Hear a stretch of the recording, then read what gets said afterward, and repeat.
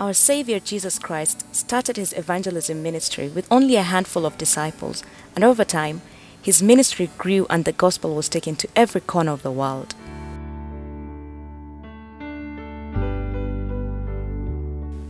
Forty years ago, a group of evangelicals from the Association of Evangelicals in Africa met in Nairobi and formed its Kenyan chapter. This marked the birth of what we now refer to as the Evangelical Alliance of Kenya. EAK started way back in 1975 out of many cries from different people because At that time, um, 1975, the World Evangelical Fellowship um, met in Limuru, which was Brackenhurst, and um, it's from that that it birthed uh, national uh, fellowships, EFK. And from that year, 1975, um, Kenya had to have its own fellowship, and uh, that was how Evangelical uh, Fellowship of Kenya started. uh, churches which started the evangelical movement in Kenya were, were AIC, Africa Gospel Church, uh, BHG, and uh, Deliverance, uh, Redeemed, and many other, let me say, the Pentecostal group. The key mandate of the EAK is to be the voice of the church in the nation.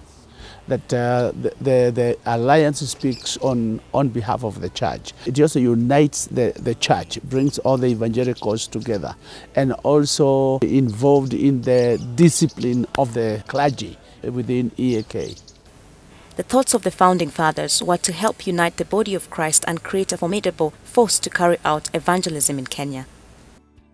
you will find that some of the top uh, ministers worldwide who come to evangelize or come for crusade like Bonnke and others, Morris Cerullo, prophets, they come through EAK.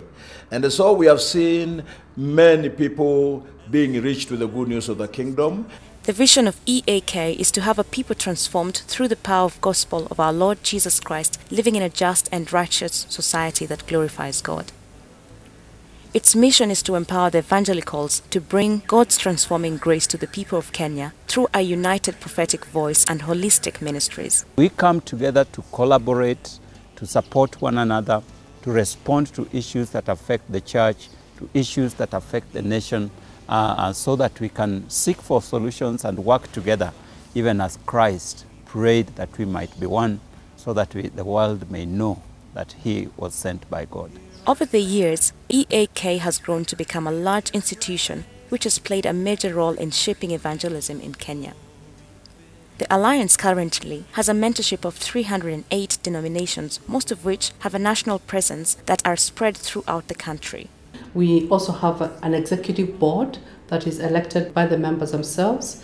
And then we also have at the county level, Evangelical Alliance of Kenya county boards, and then even at the sub county level. Our focus is solely on our members. And we want to make sure that we are able to support them and that we are able to also reach the grassroots. The total membership of the evangelicals in Kenya is estimated at 10 million in about 38,000 congregations. This makes up approximately 32% of Kenyan population. Through its secretariat, EAK runs a number of programs in its quest to attain its objectives.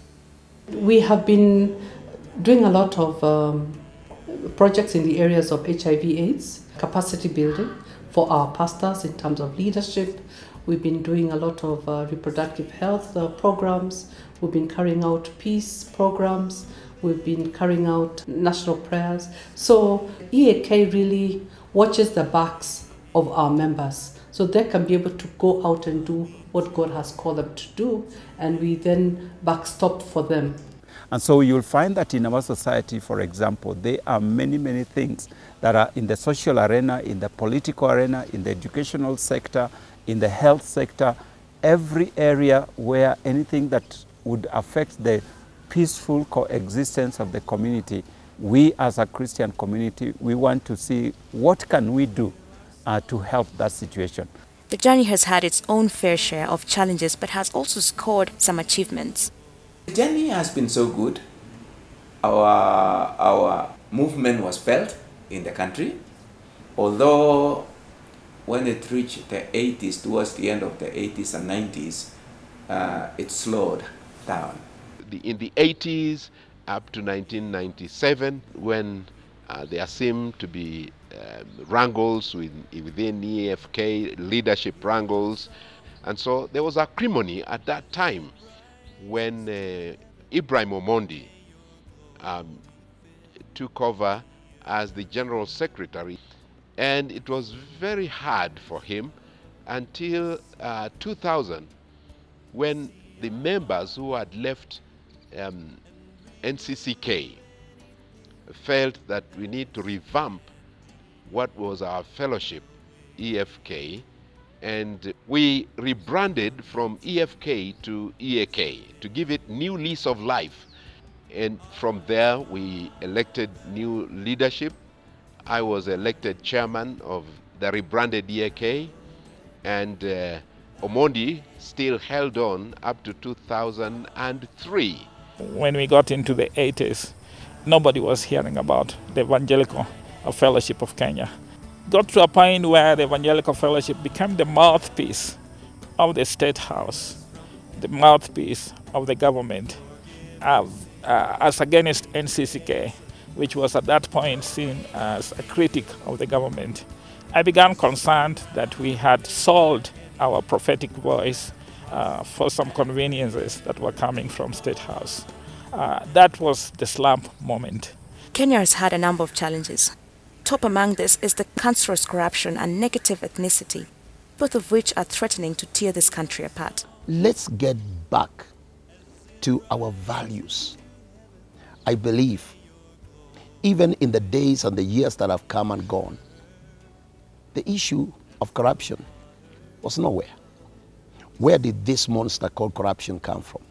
Corruption now has become a byword. I mean, it doesn't cause any head to turn uh, because we have heard about it. But should we just settle down and accept it?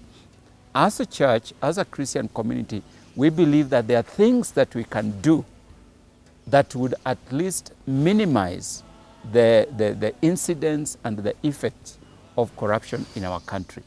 There's a Kenya that we've been dreaming about, and we believe that a time has come for all of us to be part of that dream. I think we are at crossroads. We are in a very difficult situation as a nation with the issues of corruption, issues of tribalism, issues of uh, uh, drug abuse and uh, human traffic, and uh, so many issues that are facing the nation today. The, and, and these are the issues that we as EAK are saying we will not keep quiet. We are going to take the bull by the horn and we are going to start moving on and handling these issues the results of corruption have been all too evident poverty, illiteracy, poor infrastructure, marginalization of many communities, especially the ones in the arid and semi arid regions, intercommunity conflict, and the list goes on and on. We need a transformation. Because at this point, if the evangelical church does not put her act together, we go back to God and be a one voice and begin to speak, then 2017 could be a repeat of violence, and I would hate to see that. So, my clarion call to Kenyans today is that we need to have prayer, national prayer days. Now, we have had a lot of prayers going around the country because of the case that's happening at The Hague. That is fine, let it go on. But I think the church needs to have prayers to turn the nation back to God, where we are repenting for the sins of this nation we as, a, as, a, as especially the current leadership of, of EAK, we are committed to seeing ourselves uh, mobilizing the church to take its rightful place in, in, in, uh, in the society. As EAK celebrates its 40 years of existence, it intends to play an even larger role in the transformation of Kenya. It has embarked on an initiative called From Now On campaign, this initiative hopes to stir up a turnaround in this great nation of Kenya.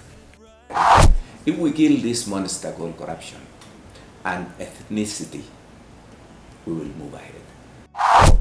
We need to forget about uh, this spirit of tribalism because the spirit of tribalism is killing this nation. Corruption must not be mentioned in the church. It must never be practiced in the church. We need to repent of that. We need to turn our nation back to God. When we have turned our churches back to God to begin with, then we can speak about changing Kenya. And if we can speak with one voice, Kenya will listen to us.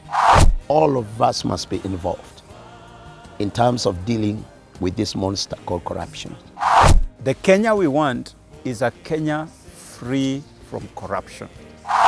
From now on, there is no more corruption. From now on, no more drug abuse. From now on, no more alcohol. From now on, all the evils that have been facing our nation have got to come to an end because the church is standing together and we are saying from now on, there is change.